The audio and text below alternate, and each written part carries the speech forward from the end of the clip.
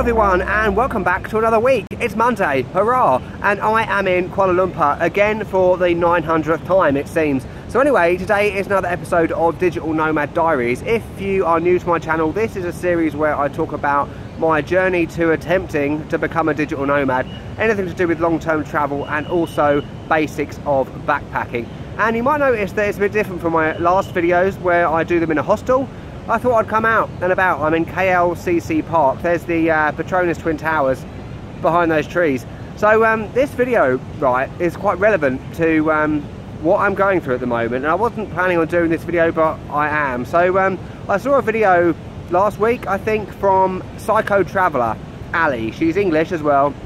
And um, she's significantly further down the journey of digital nomad travel life than I am. And quite often her videos are very relevant to me. So I wanted to do a kind of my version of a video she did last week all about planning the future in effect. And um, that's pretty much what I've been doing lately. That's why I've been quite quiet on YouTube last week because I have been in immense planning stage, you know. So what is that all about? So there's three things really that I'm going to talk about. That is getting to a place where you can minimize your expenses, maximize your income and capitalize, that's a good word, capitalize on the demand for your brand.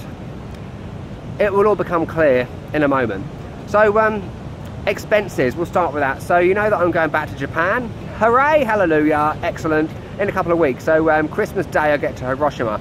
And you might think that I'm insane going back to Japan in terms of the expensiveness of that country, but I have a cunning plan. So I'm doing a Workaway in a hostel in Hiroshima for three months. Probably two months and I might travel for the next month. But um, if you don't know what a Workaway is, and I will do a video about this at a later date, probably when I'm there, it's basically I'm working in a hostel for three hours a day in exchange for free accommodation. There's a lot more to Workaways than just getting free accommodation. A lot of people make that mistake, but I'm going to start off with that and I'll tell you more about it at a later date. So that is really going to completely eliminate my main expense of accommodation for up to three months, which is awesome.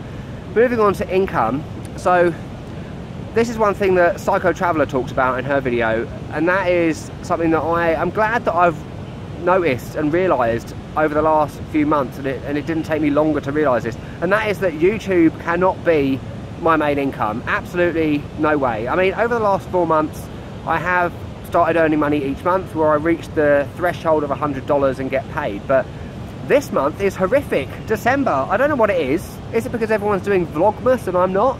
I, I did Vlogvember. My views have massively dropped this month, right? And um, it's just made me realise that I can't rely on it. It's not stable income.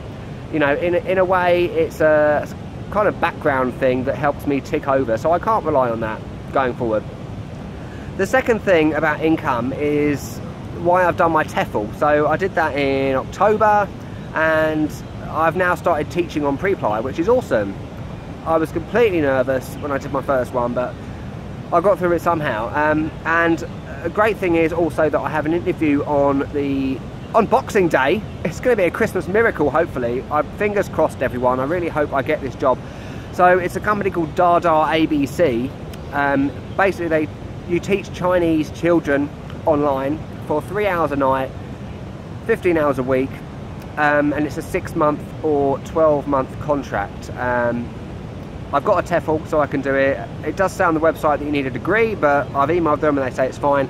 So um, that's going to really, if I get that job, it's going to provide me with a bit of stable income, if you know what I mean, and a, and a primary income where I won't have to worry about money anymore because I'll be having free accommodation I can pretty much save again, which is awesome. And, and, and that saving will definitely go towards two things, planning for future travels when I leave Japan, and also um, technology. So I really like to improve the stuff that I use to film with and editing software, laptop. I would love to get a Mac, that sort of thing, but that's way in the future.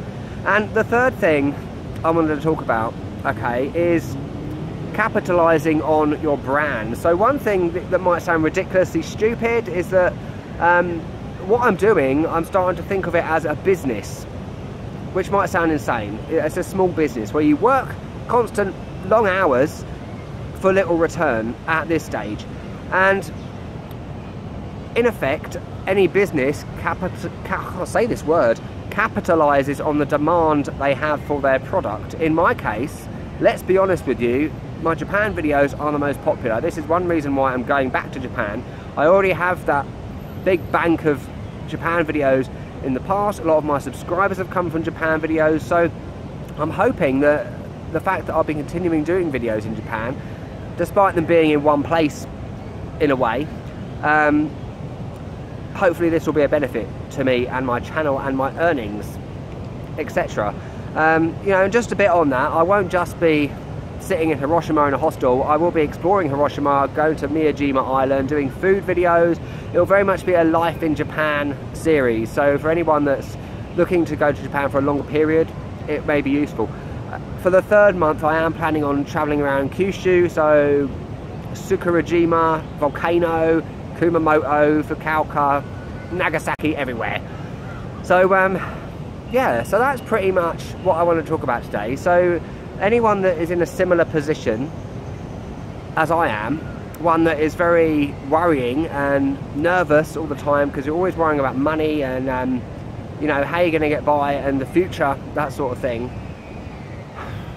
It is tough, but um, you know, as long as you have a plan and you execute that plan, I'm really confident this is going to work.